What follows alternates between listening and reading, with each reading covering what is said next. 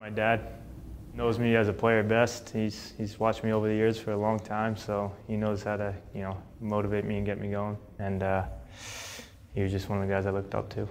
I got three older brothers, so I kind of got started with them, and from there I just you know played and practiced with them, and just made me a better hockey player, and that's how I got here today. I'm a center, so uh, my game is more like a playmaker ability and uh, using my speed. I'm a small guy, so I got to use those assets pretty well you know, the whole facility itself and the rink is un um, unbelievable. Our locker room and uh, all the things that we have, including our workout room and player lounge, it's just uh, top notch, top of the line. I think a lot of goals, uh, everyone's goal is to, you know, make it to the NHL. But um, for this goal, this year, I think, uh, you know, trying to win a finals this year.